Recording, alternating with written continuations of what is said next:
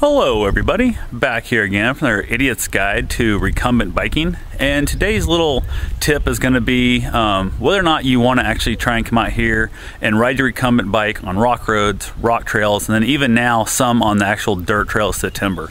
Um, I would highly not recommend it. Um, it's been really super sketchy. I haven't been able to go very fast, which isn't a big deal because the rock on the trails out here are really a lot bigger than they need to be and I keep kind of bouncing. Feel the tire dancing around quite a bit. And coming down some of the downhills, the tires are sliding really bad and it gets super squirrely on a recumbent because you're not over top of the weight balance very well. So I'm having a little trouble getting used to that. But the one thing I'm gonna show you out here on the little trail is these are actually just like plain old dirt um, mountain biking type trails and that. And what you can see, I can get a little better look at there. You see the trail kind of going up to there. I did ride down here a little bit on it. I have my GoPro in the front of the bike so we'll be able to see a little bit of this. Um, I've shut it off of course now. But this right here is a giant tree that fell over. You can see the root ball there on the end and it's blocking this entire trail. And normally, you know, I would just say to heck with it and just go back. But I think I want to go ahead and go on down this trail. There's some actual mountain bike, nice little downhills and stuff. I want to at least go over there and check it out. So I haven't decided if I'm going to bother taking the time to try and pick the bike up and haul it over there. But instead, I think I'm probably going to leave my bike sitting right on the side trail. I'm not going very far. Um, I don't have, I didn't bring a cable lock, nothing. So I don't have any way of securing it. But what I'm going to say is if you come to something like this, it's most likely if it's not been taken away be super careful because this tree might not be stable. I've actually crossed this a couple times already and watched another guy cross it and i just climb up on it jump over top set your bike across not a big deal.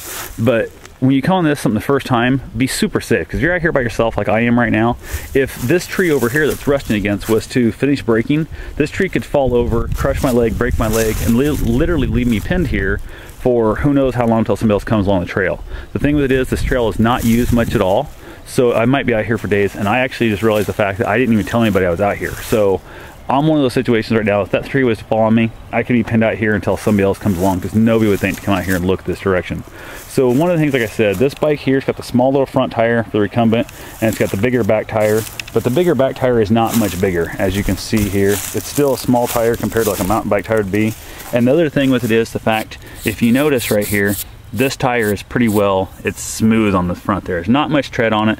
Definitely um, not the greatest for being out here. You would definitely want to get like a mountain bike tire, and they do make mountain bike tire type treads for these bikes, but not something I'm probably gonna spend the money on because I doubt I'll be out here much. It'd be cheaper for me to just go spend like a hundred bucks and buy a cheap mountain bike off Craigslist, something like that instead, which is something now I know I have a mountain bike trail out here by me, I might go ahead and do, but anyway, that's what I've got right now. It's just kind of the safety world when you're going on these trails. Realize the fact your bike might pick up a lot of speed going down the hills. Be careful. When you get all this leaf litter on the trail surface, you can't see the ruts, you can't see the holes, that kind of stuff. So be careful, especially your first time down trail. Take it really slow. But main thing is when you come across something like this tree, just be super careful and realize the fact that that tree might have been there for three months, might have been there for three days, might have been there for three minutes, you don't know. But all it takes is that tree down the far end down there that was holding it up. If that was to finish rotting out, if it was be raining, got a little muddy the day before, like that, this tree could slip over, could fall, could crush, break your leg, pin you in there, and you're stuck there for quite a while. So definitely, if you're going out on these little weird trails and stuff, tell somebody, shoot an email to your buddy, shoot a text message to someone, tell someone at your house, whatever, where you're going, give them a general idea. If your schedule changes on your trip, just shoot a text message out, tell them where you're at. So I'm gonna go ahead and do that so I get off here. I'm gonna send my buddy a text and tell him, hey man, I'm heading down such and such trail off of such and such area where we just were. So just let him give him a general idea of where you're at and what you're doing. So anyway, I'll talk to you guys later. Thanks for watching. Have yourself a safe and wonderful day and get out there and put some miles on your bike.